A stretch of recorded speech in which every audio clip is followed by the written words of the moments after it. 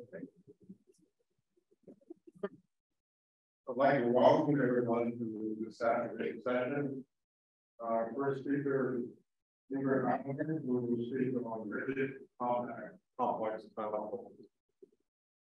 Okay, thank you for, for the introduction and thanks to the organizers for, for having invited me here to Miami. It's my first time, even in Florida, fact which is long overdue. I should have Florida many, many years ago and I didn't, but now finally, okay.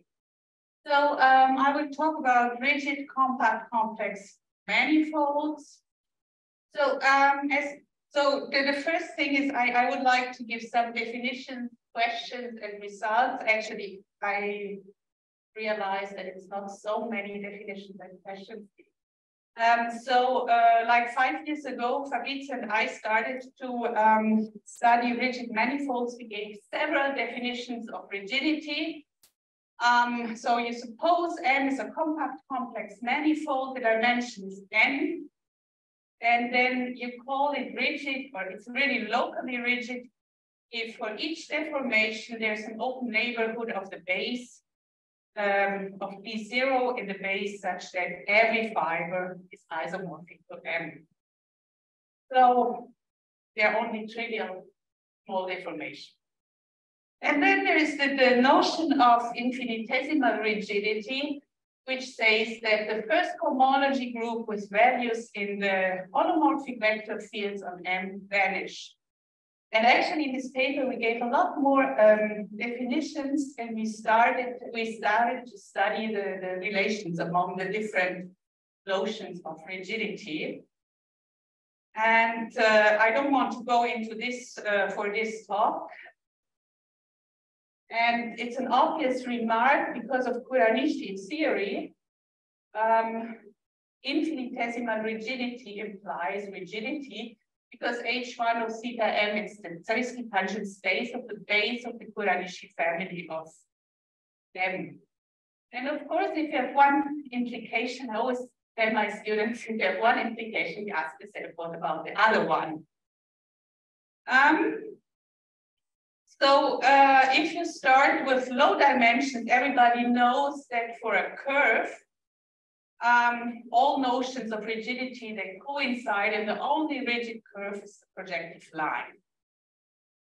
And what about uh, surfaces? There we proved um, in this paper, um, if you have a smooth, compact, complex surface, surface which is locally rigid, then either it's a minimal surface of general type, or it's a Del Pezzo surface of degree at least five, or it's an Inoue surface of type uh, SM or this other type.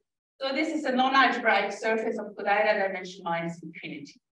So, I mean, in particular, either you have Kodaira dimension minus infinity or you have maximal Kodaira dimension.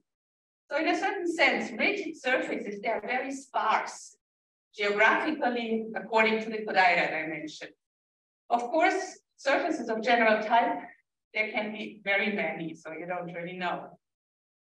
Um, if you go back uh, to infinitesimal rigidity and rigidity, two and three, they're infinitesimally rigid, and for surfaces, you can ask the question, uh, is there a rigid surface of general type which is not infinitesimally rigid? Actually, we found out that this is a very old problem and it was already posed in the book by Kodaira and Morrow. Find an example of a compact complex manifold which is really rigid but the first homological group with values in theta m does not vanish, and it's written there, not easy question mark. And in fact, it was almost 50 years later that he succeeded to give a counterexample. So uh, together with Pignatelli, we proved that there are minimal surfaces of general type which are rigid, but not infinitesimally rigid. And uh, later, more examples were given um, by uh, von Bothmer, Böhning, and Pignatelli. So, but what about if the dimension is bigger than two? Is it still true that the rigid manifolds are so sparse?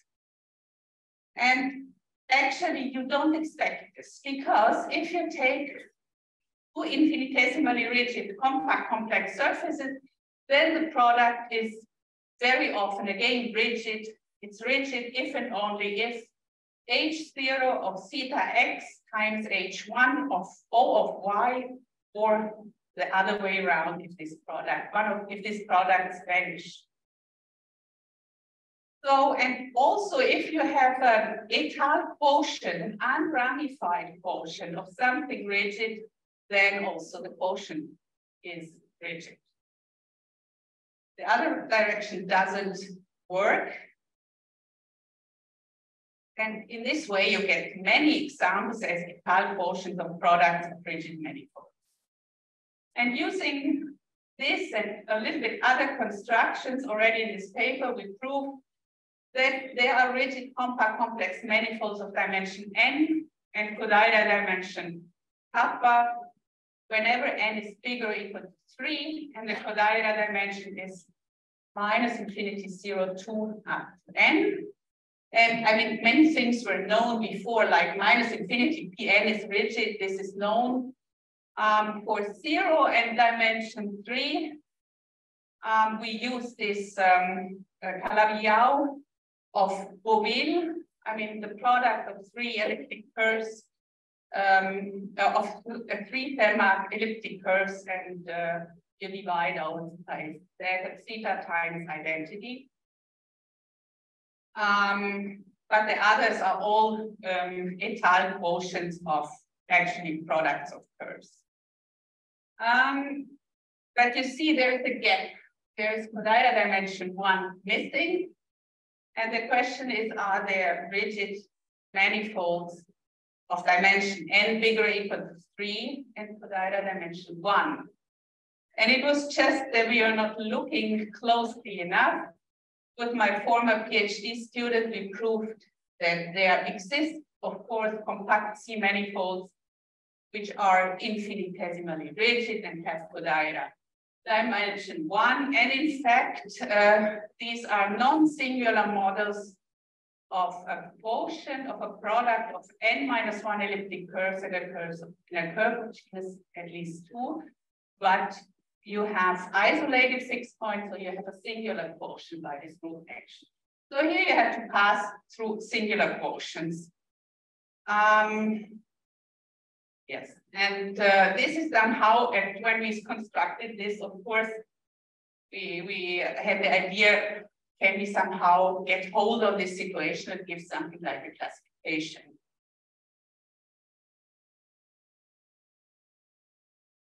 Okay, so I mean, what I've been, all these constructions we have done so far, I mean, I've not been telling you proofs, but there are rigid group actions on uh, and with isolated fixed points essentially. So let me uh, talk about this. So suppose you have a compact complex manifold and a finite group which uh, acts holomorphically on theta, and then you take the quotient and you call it x. And then you say the G action is infinitesimally rigid if on the G module H1 of theta Z, there are no G invariants. Okay? Um, and you observe immediately that this G invariance, in most of the cases, it's just H1 of theta of the quotient. So if G acts freely in codimension one, then this uh, H1 of theta C G variant is just H1 of theta X, where X is the quotient. And if G acts freely, then this is in fact the Zariski uh, tangent space of that x. Of course, if C is uh, smooth, then also, and G acts freely, then the quotient is also smooth. So if you have étale quotients, then C mod G is rigid if and only if the G action is rigid. Okay?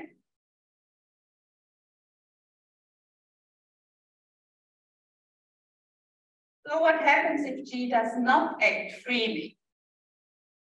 So now we consider the low term exact sequence um, of the X spectral sequence. And you see you have uh, um, H1 of theta, which maps injectively to X1 of omega 1 OX. And then you have H0 with values in the script X1 of omega 1 X OX. So the term in the middle, probably doesn't work here. So the, the, the X1 in the middle is the Zariski tangent space of the Kuranishi family of X. So X is singular. And now here comes the big difference. There's a big difference between dimension two and dimension three. Because in dimension three, by Schlessinger's result, isolated quotient singularities are infinitesimally rigid. So the third uh, term in this exact sequence is just zero. So x1 of omega 1 is the same as h1 of theta x. So, and this means, so we saw that uh, h1 of theta x is the same in most of the cases is um, the same as the G invariant um, H1 of theta, theta of, of the um, theta above. So this means X is infinitesimally rigid if and only if the G action on X is rigid. I'm talking about dimension bigger equal to three, because there the last term of this sequence is zero. Now, X is singular. We look for rigid manifolds. So when is, uh, if you take a resolution of singularities, when is the X hat infinitesimally rigid? So um, here we have again an exact sequence and you see, um, so you assume that um, G acts freely in codimension one, and then you suppose that you have a resolution of singularity such that rho lower star of theta x hat is isomorphic to theta x. And R1 of rho lower star of theta x hat is zero. And then you see that the um, this right term, H0 of R1 is zero. So the first terms are isomorphic and the first term is just H1 of theta x. So this means in this case, if you have such a good resolution, then um, X hat is infinitesimally rigid if and only if the G action is rigid. So we just have to take care, we have a good resolution, and then we have to study the G actions in dimension bigger or equal to three. In dimension two, the situation is entirely different. So the, the, if you just suppose that the quotient has rational double points, then the assumptions of the above proposition are never fulfilled. This R1 rho lower star is never zero. Okay? And this is what we use to construct this uh, rigid but not infinitesimally rigid examples. So suppose for the moment that um, you have a surface and G does not act freely, um, and we suppose that X has rational double points, and we just assume here that we have R ordinary nodes, mu one to mu R. We denote S, the minimal model of X, and E is the exceptional divisor. It's just a pullback of the R nodes. And then we call def S and def X the base of the Kuranishi family of X respectively, S respectively of X. And then we look again at these uh, tangent spaces and we have again the um, local to global exact sequence. And you see x1 of omega 1x, that's uh, the tangent space of def x. And then you have on the right, H0, X1, these are the local deformations of the singularities. You can smooth nodes, so there are deformations. And H1 of X, theta X, these are the equisingular deformation. And we have the obstruction map. So if you have something um, dimension three, this is not there because H0 of X1 is zero.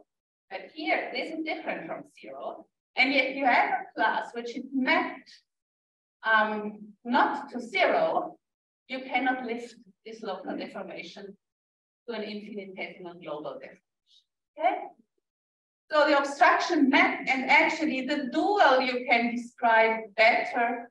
It's, uh, let's say it's R alpha news elements in H0 omega 1 S tensor omega 2 S dual. Um, so now, I think this was shown by Pinkham first. H1 of theta S is isomorphic to H1 of theta X plus for each node, you have a one-dimensional vector space. Um, so this means that if you have nodes, S can never be infinitesimally rigid because H1 of theta S is never zero.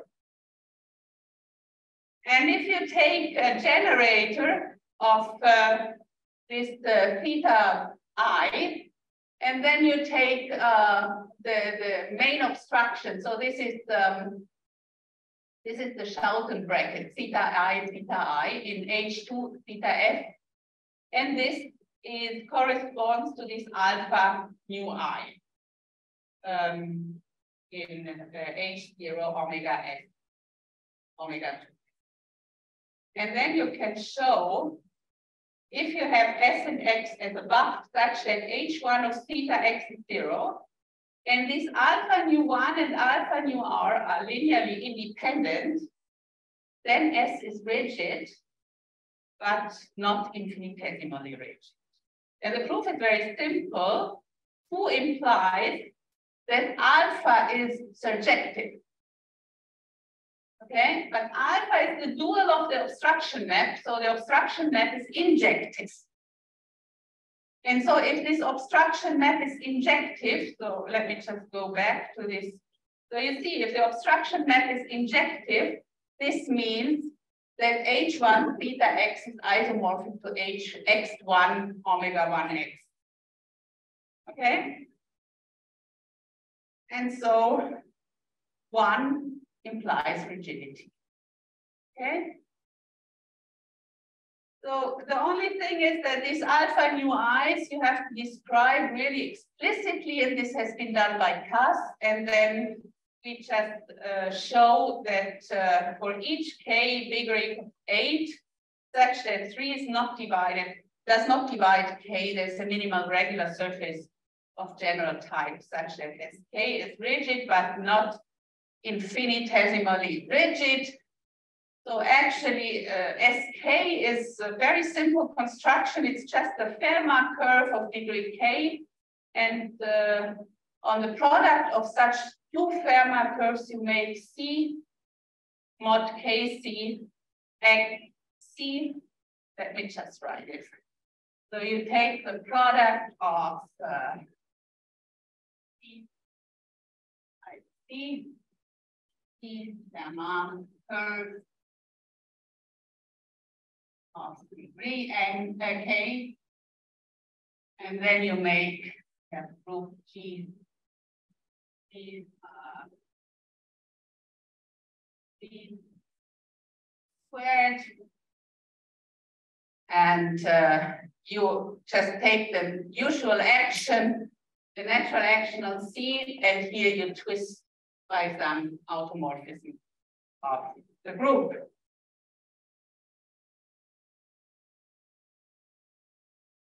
Okay, now, so this is dimension two. Let me go back now to dimension three and bigger. So um, I told you if you want to construct um, rigid manifolds in dimension bigger or equal to three uh, in this context as the quotient of uh, a singular quotient of a product of curves. In the end, it will be, then you have to find rigid G actions, and then you have to take care um, that you have a good resolution. So um, if you have a product, you have a finite group acting on some manifolds, and the, then you consider the diagonal action of the product, and this is infinitesimally rigid if and only if the G action on each factor is infinitesimally rigid. And then you need that uh, the G invariance of the tensor product of H0 theta C and H1 OC J, they vanish whenever I is different from J. And the proof is just the Künneth formula. Now, we will just concentrating on the situation where C is the product of n elliptic curves or of n minus one elliptic curves and a curve of genus at least two. And then the rigidity conditions, that they can be a lot simplified. Uh, I mean, uh, first you need that the action of G is rigid on the curve C and on the EIs, but this means that the quotient is the projective line and it's ramified in three points. And then you need, um, you translate these other conditions in H0 of the canonical uh, divisor of C, tensor H0, the canonical divisor EI, G invariant is zero, and also for the elliptic curves. Okay. Now, uh, why are we studying this because these are, I mean, varieties which you can handle by algebraic data. So we can somehow search for them. We can um, use computer algebra um, programs, yeah? So for this, recall that uh, rigid G action, we associate a triple of local monodromies in the three branch points, which I call G1, G2, G3, um, so this is just, I mean, outside the branch points, you have an unramified covering, and these are just the images of the surjective map of uh, the fundamental group of P, the, the projective line minus three points G. And then we call the triple of respective orders, we call the branching signature of this covering. And then you can ask yourself which groups can occur as groups having a rigid action um, on an elliptic curve, and these are very, very few. So it's a semi-direct product of a subgroup of Cn to the squared times um, a cyclic group of order D, and D can only be three, four, and six. And in the table, I listed um, the possible um, branching signature N1, N2, and 3 and the Abelianization of G and the elliptic curve. So there are only two elliptic curves occur. I mean, the Fermat elliptic curve and the harmonic elliptic curve, right? And in particular, from this, you see that if you have a finite group with a rigid diagonal action on a product of elliptic curves and a curve of genus at least two, then all the EI have to be isomorphic and the branching signatures of all EI are the same. So, I mean, that's obvious because just look at the Abelianization, they're all different, right? So G has to act on, uh, um, on all these curves and so it's in one, exactly one of the three cases. Sorry.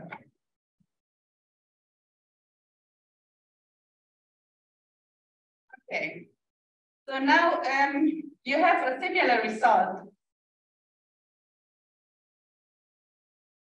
If you ask yourself when such a, I mean, such a finite portion of a wallpaper group, I mean, these curves which act on elliptic um, curves, they are just finite portions of wallpaper groups.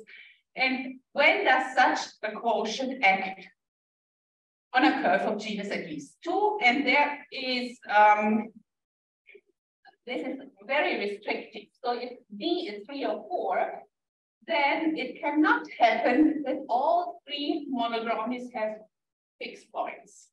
This can only happen in the case E equal to six, and then the branching signature is three, six, six. And in the, all the other cases, we have branching signatures, signature D, D, and L, where L divides the order of A. So that's very restricted. Okay. And this also implies the following. That's why we didn't come over in Kodaira dimension one of an example of an étale quotient because um, if you have um, a product of elliptic curves, and if our group G is not D3 squared or the Heisenberg group of order 27, then, or if the genus of C is bigger or equal to 2, then the action is never free if the action is rigid. Okay? So only in these two cases, the D3 squared and the Heisenberg group it can be rigid on a product of elliptic, uh, it, sorry, it can be free on a, a product of elliptic curves.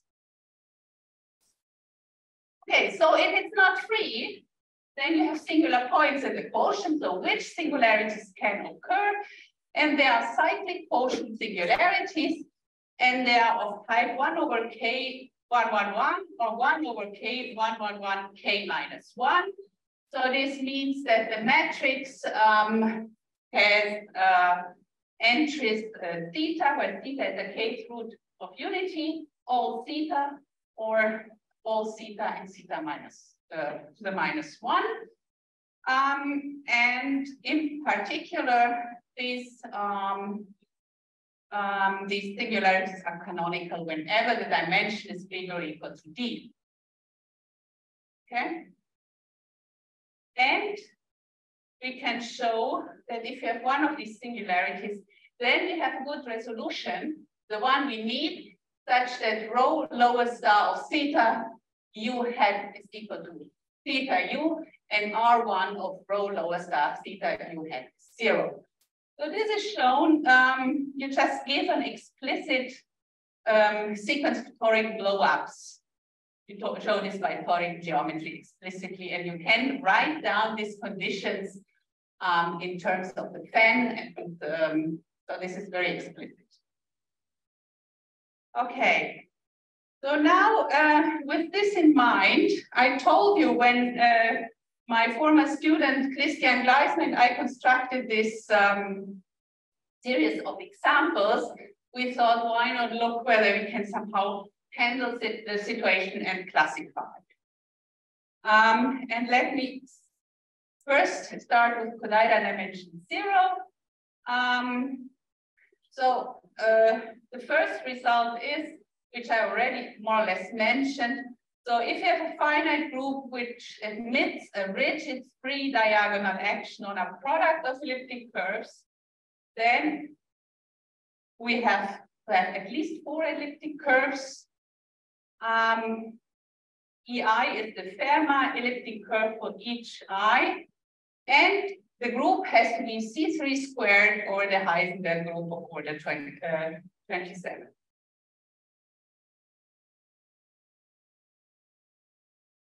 What happens in the other case? When, uh, suppose um, your group G is different from these two groups, so the non-exceptional case, and there not much happens.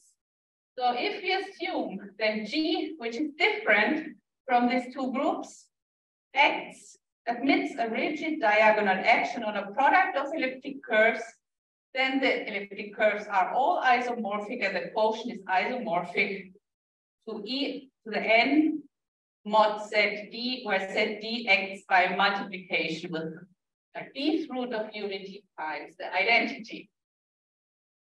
So um, D is again three, uh, four or six, and for three and six, E is the Fermat elliptic curve um, or the harmonic elliptic curve. So let me point out that this um, for D equal to D equal to N um, and equal to three, four, or six is already Beauville constructed them. There were um, Calabi-Yau, three, four, and six folds. Okay, so in this case, if you have a, the group um, different from the Heisenberg group was C3 squared, nothing happens. There's just one essential case, so one case um, for each dimension for each D. Okay. So, uh, but if you look at this exceptional case, the Heisenberg group and C3 squared, then the situation uh, becomes more interesting. And uh, we just studied this for the case n equal to 3 and 4. Essentially, 4 also only in the free case. So the, the result is that exactly one isomorphism class of quotient manifolds, E4 mod G for each of the two cases, right? One for C3 squared and one for the Heisenberg group. And they have non-isomorphic fundamental groups. Um, so for the exceptional groups in dimension three, so recall there the action has fixed points. So these are a priori singular quotients. So let me summarize what is there. We have exactly four isomorphic isomorphism classes of singular quotients. Um, so for each group, okay, we have x1 to x4, which is E3 modulus C3 squared, and we have yi for i equal to 1 to 4 uh, quotients by the Heisenberg group, which are obtained by a rigid action, of course. And then we can say x4 and y4 are isomorphic to Beauville's Calabi-Yau threefold. It's this xp3, which I mentioned in the slide 4.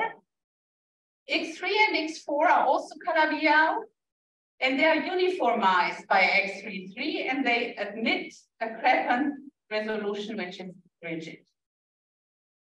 And then x2 and x3, y2 and y3 are diffeomorphic, but not biholomorphic.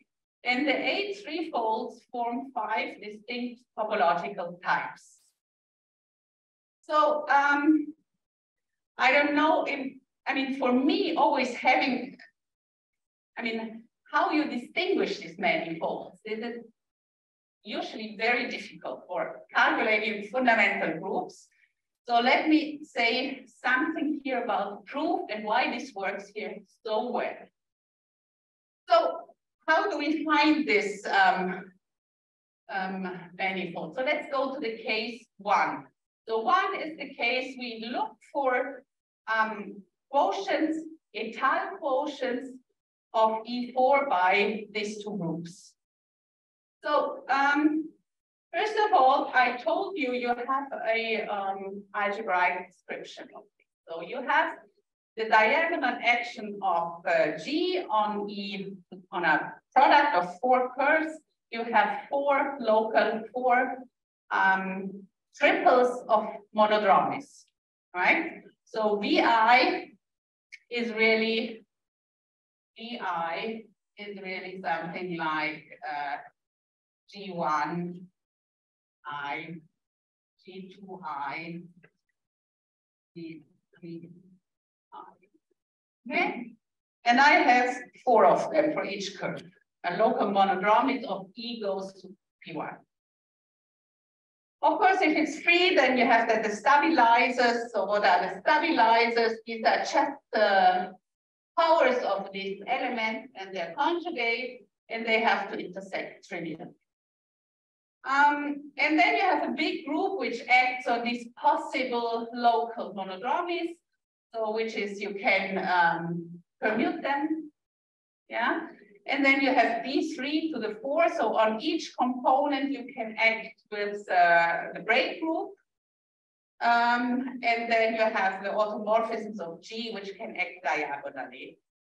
And um, you know that uh, such four tuples in the same orbit of this big group give isomorphic quotients.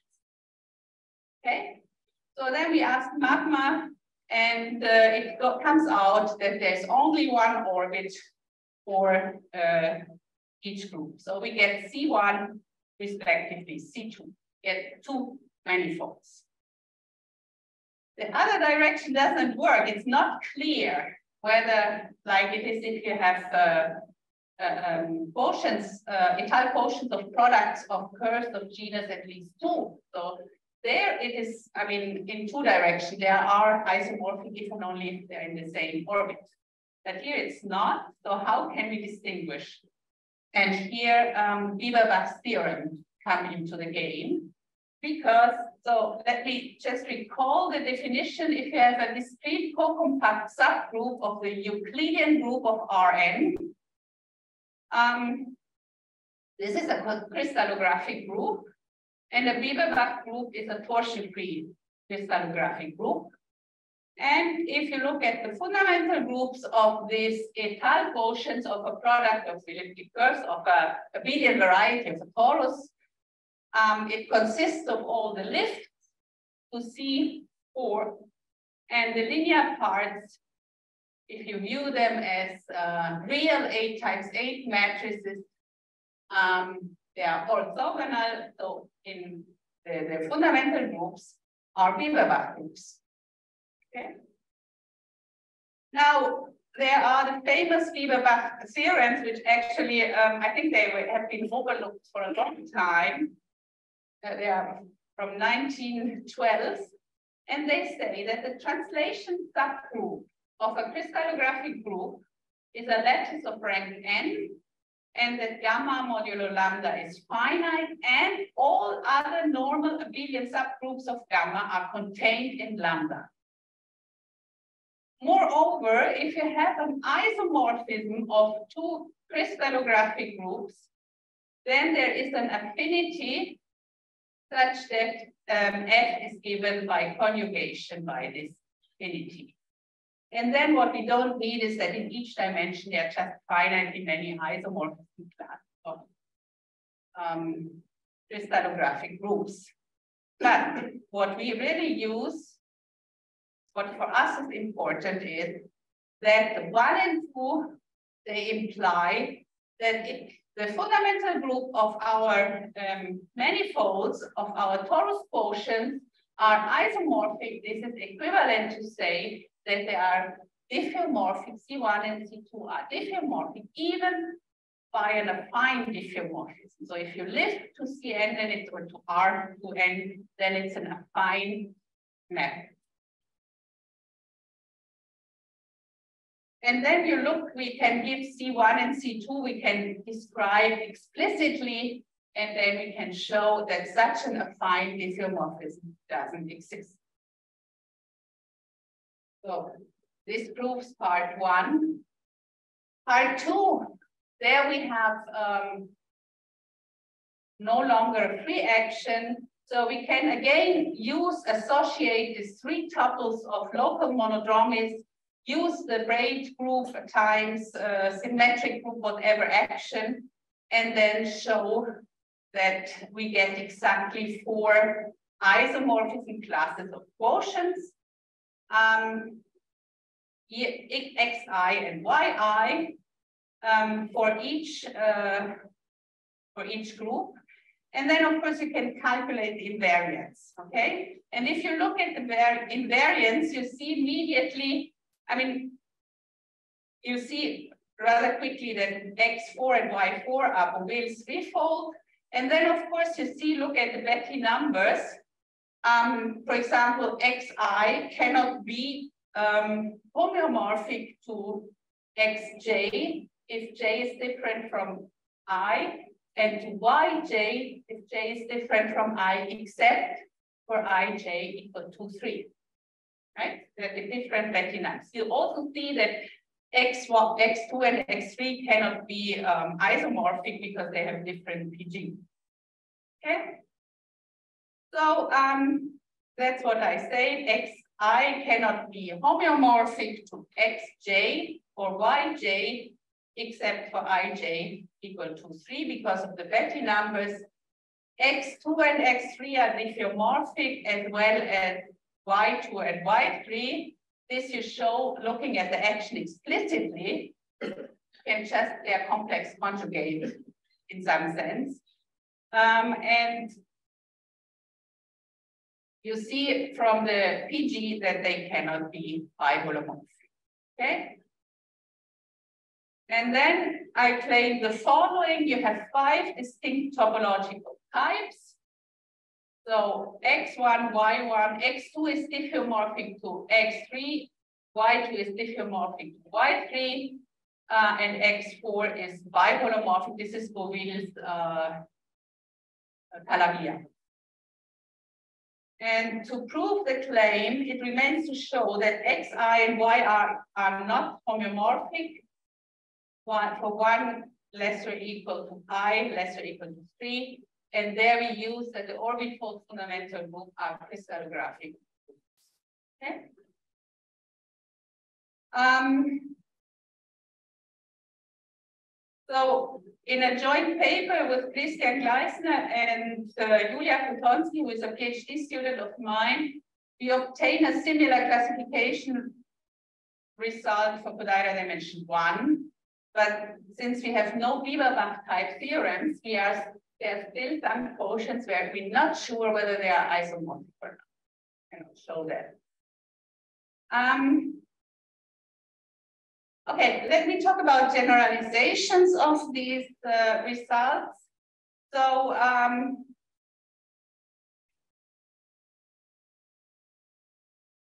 let me go back to the theorem here. Okay, so uh, I've just mentioned two types of generalization. So one, the, the um, quotients in um, uh, in, in uh, part one, they are Étale quotients of an abelian variety. So they are special hyperelliptic manifolds and hyperelliptic manifolds um, have been classified um, up to a certain point.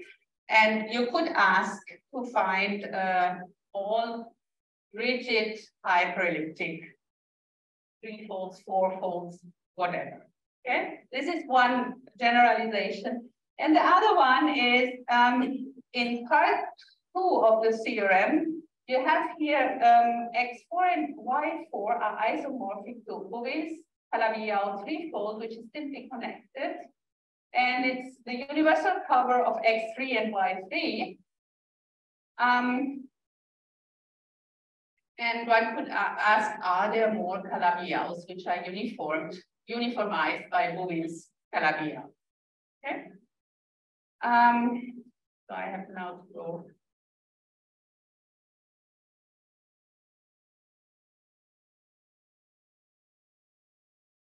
Okay, so now, so um, this is what I said, it's rigid elliptic fourfold. So a hyperelliptic manifold is a quotient x t mod g of a complex torus t by a finite group but which acts freely and without translation. You can always assume that it acts without translation because you mod out the translations, you get again a torus, and then you have a um, translation-free action.